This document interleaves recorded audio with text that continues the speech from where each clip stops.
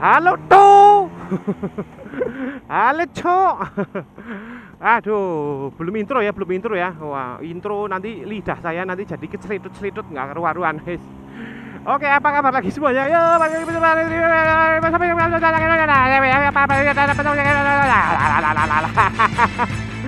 Gak karu-karuan itu. Oke, jadi ketemu lagi dengan saya masih bersama Vespa ya, masih bersama Vespa. Tapi sekarang saya tidak touring, saya masih di Wonosobo. Saya sudah di Wonosobo maksudnya, bukan masih di Wonosobo. Ya bener masih di Wonosobo, tapi saya sudah di Wonosobo karena saya sudah pulang touring. Oke, jadi uh, saya kali ini di video ini, ini masih membahas tentang touring saya. Nah, ini banyak dari kalian yang bertanya-tanya baik melalui kolom komentar maupun DM Instagram itu tanya-tanya Bang kira-kira habis berapa bang? Touring sampai ke Timor Leste naik Vespa gini gini gini gini. Nah begini bro begini begini begini akan saya ceritakan sebentar ini hidup nggak kameranya? Oh hidup. Wah anteng nggak ini kamera saya? Gua anteng kan pakai Drift Ghost HD eh Drift Ghost S ini. S jus S buah. Nah jadi yang akan saya jabarkan di sini itu hanya tentang naik kapalnya saja bro ya. Jadi tentang naik kapalnya saja karena kalau saya menjabarkan semuanya dari bensin, kebutuhan makan, kebutuhan pokok itu itu jelas nanti bakal berbeda dengan kendaraan kalian ya. Bahkan tiga dua Vespa yang menemani saya itu juga kebutuhan bensinnya berbeda, kebutuhan makannya berbeda ya. Ya, jadi itu beda-beda. Yang touring bareng saya pun habisnya berapa dengan habis saya setiap masing-masing individu setiap masing-masing orang, setiap masing-masing kendaraan itu berbeda, bro. Makanya di sini saya tidak akan membahas total habis berapa biaya yang saya keluarkan, termasuk makan, minum, rokok, belum lagi putihan racing, bensin, kapal. Wah, itu saya tidak akan membahas itu. Saya di sini hanya akan menjabarkan. Sebentar ini kok rasanya ada suara kresek-kresek itu apa ya? Sebentar. Daleman tepong ini ada suara krek Oke, back to topik lagi. Di sini saya hanya akan membahas habis berapa seluruh biaya kapalnya dengan asumsi kalian mengikuti jejak saya ya. Ingat, saya itu dari pulau ke pulau saya ambah semua ya, walaupun ada dua pulau sebenarnya, Pulau Rote dan Pulau Sumba yang belum saya jamah. Tapi jika kalian mengikuti jejak saya touring kemarin, persis pulau yang saya ambah ya, yaitu mengikuti jejak pulau yang saya ambah persis, maka kalian bisa melihat perincian atau hitungannya di sini. Oke, sekarang mari kita mulai satu persatu napak tilas perjalanan kapal saya ke Indonesia Timur. Dimulai dari penyeberangan saya ke Bali ya. Jadi dari Banyuwangi ke Bali itu kapalnya 24.000 ya. Itu sampai Bali, terus kita menyisir Bali, terus di Padang Bay, di Padang Bay ke Lombok, ke Lembar. Padang Bay itu Bali ya. Jadi Padang Bay itu nama pelabuhannya pelabuhan Padang Bay yang ada di Bali menuju ke arah Lombok yaitu pelabuhan Lembar. Itu kita nyebrang kapalnya seharga 129.000 itu kalau di Lombok di Lembar ya tepatnya di Lembar. Terus menyusuri Lombok jalan darat gitu ya darat menuju ke pelabuhan Lombok satunya yaitu pelabuhan Kayangan untuk kemudian menuju ke pelabuhan Potatano yang ada di Sumbawa, di Pulau Sumbawa, yaitu anggap saja Lombok sampai Pulau Sumbawa. Itu kapalnya 55.000 ya, kemudian menyusuri Pulau Sumbawa ke sana ya. Wet wet wet wet wet wet wet ke sana sampai ke Bima terus sampai ke Sape, pelabuhan yang di Sumbawa yang ada di Kabupaten Sape ke Labuan Bajo yaitu Pulau Flores ya. Jadi Sape adalah titik nol Ingat ya, sampai adalah titik nol dari NTB, Nusa Tenggara Barat. Kemudian untuk menyeberang ke Labuan Bajo Flores sudah masuk Nusa Tenggara Timur. Nah, dari Pulau Sumbawa ke Pulau Flores itu nyebrangnya kapalnya seharga 186.000. Nah, begitu. Terus menyisir dari Labuan Bajo ke jalan darat sampai ke ujung pulau besarnya yaitu ke Larantuka itu ya. Jadi dari Larantuka itu menuju ke Adunara karena Larantuka adalah pojok pojok kepulauan besar Flores sebelah timur ya. Jadi dari Larantuka itu masih ada pulau lagi di sebelahnya ya, ada Adunara, Lembata dan Alor. Nah, tapi kalau Larantuka adalah kepulauan paling pojok di antara pulau besarnya.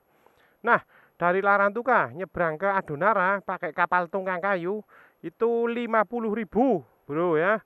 Larantuka ke Pulau Adonara itu 50.000 terus menyusur Adonara menuju ke pelabuhan Adonara yang di sebelah sebaliknya yaitu untuk menuju ke arah Pulau Lembata. Lembata atau Lembata? Pokoknya itu. Dari Pulau Adonara ke Lembata juga pakai kapal kayu itu seharga 50.000 juga bro. Nah terus dari Lembata Lembata untuk menuju ke pulau paling pojok Indonesia Timur NTT terutama ya Indonesia Timur bagian NTT yaitu Pulau Alor. Dari Lembata ke Pulau Alor itu saya naik kapal feri. Terus untuk harganya 195.000 terus dari Alor dari Kepulauan Alor dari Kepulauan Alor menuju ke Kupang. Nah Kupang itu udah Pulau Timur ya dari Alor ke Kupang itu juga naik kapal feri. Itu harganya 314.000 itu ya. Untuk kemudian sudah sampai di Pulau Timur saya menuju jalan darat ke Atambua perbatasan Timor Leste. Nah otomatis kan saya balik lagi harus ke Kupang lagi kan. Setelah dari Atambua saya harus ke Kupang lagi karena adanya kapal di situ yang kapal bisa ke mana saja gitu kan dari Kupang adanya. Nah sedangkan saya ambil dari Kupang balik lagi ke Aimere. Aimere itu di mana? Aimere itu di Pulau Flores, nah, sekitar tengahnya ya. Tengah-tengah Pulau Flores sudah saya lewati pas berangkat ya. Yaitu dari Kupang nyebrang lagi langsung ke Aimere. Itu harganya 421.000, Bro ya. Sedangkan dari Aimere saya langsung bablas ke Labuan Bajo pakai jalan darat lagi. Ya. Aimere Labuan Bajo pakai jalan darat lagi. Nah, untuk kemudian dari Labuan Bajo saya menunggu kapal untuk langsung pulang ke Pulau Jawa yaitu ke Surabaya, Tanjung Perak pelabuhannya tepatnya ya. Nah, dari Labuan Bajo ke Surabaya itu kapalnya seharga Rp800.000. Begitu ongkos kapal yang saya bilang di sini itu adalah ongkos kapal semuanya. Maksudnya udah terhitung antara motor dan kendaraan. Eh, antara motor dan kendaraan ini doa. Semua ongkos kapal yang saya bilang di sini itu udah termasuk penumpangnya, begitu loh. Jadi motor dan penumpang itu sudah satu paket dengan harga segitu. Jadi ini bukan ongkos penumpangnya saja, ini bukan ongkos motornya saja, tapi sudah hitung satu paket. Yaitu ongkos kendaraan dan ongkos penumpangnya seharga yang saya sebutkan tadi di video. Nah, bagaimana cuk? Wah, bagaimana kak? si kak. itu ya, jadi itu adalah kapal dan harga kapal atau habis total biaya yang saya keluarkan untuk kapal itu jelas fix segitu bro jadi kalau kalian persis mengikuti jejak saya itu juga kalian akan habis seperti itu akan habis 2.221.000 ya untuk biaya kapal saja ya.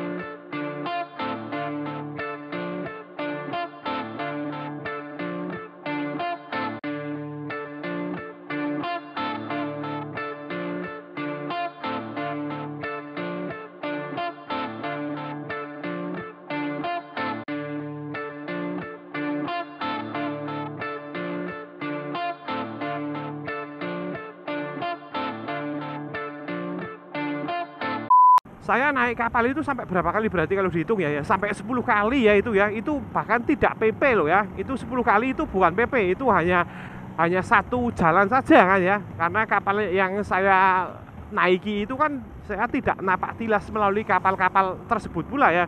Itu satu kali jalan kapal bukan PP dan kalian juga kalau mau mempraktekkan juga bisa ya satu kali jalan. Jadi kalian tidak harus PP melalui kapal yang tadi atau jalur yang tadi ya karena untuk pulang kan tidak harus menapaki jalan yang sama bro. Begitu ya. Pulang itu kalau bisa malah melewati jalan yang berbeda begitu. Seperti yang saya lakukan itu kan. Nah untuk biaya kapal itu fix pasti segitu. Misalkan ada kurang ada lebihnya juga paling sedikit lah selisihnya ya. Mungkin dari total biaya mungkin uh, kalau tahun depan atau mungkin kalian yang melakukannya di bulan depan atau bulan kapan itu mungkin cuma selisih 50 ribu 100 ribu. Itu ongkos total kapal semuanya. Kenapa kok saya tidak menjabarkan berapa bensin berapa ongkos makan minum dan hidup di sana? Ya kembali lagi ke semula karena itu berbeda-beda ya saya motor dua tak pakai Vespa motor dua tak itu jelas berbeda jika kalian pakai motor lain. Walaupun pakai sesama Vespa pun juga nanti akan berbeda pasti. Seperti yang sudah saya jelaskan tadi. Ya ngomongnya susah banget. Seperti yang sudah saya jelaskan tadi bahwa di antara tiga Vespa yang datang bersama saya itu juga habis bensinnya dan habis apapunnya juga itu berbeda-beda. Itu tergantung manusianya bro ya jadi kalian mau irit ya nggak apa-apa. Kalau mau irit ya puasa terus saja selama perjalanan. Nggak makan nggak minum ya. Itu dijamin irit ya. Paling kalian cuma beli bensin.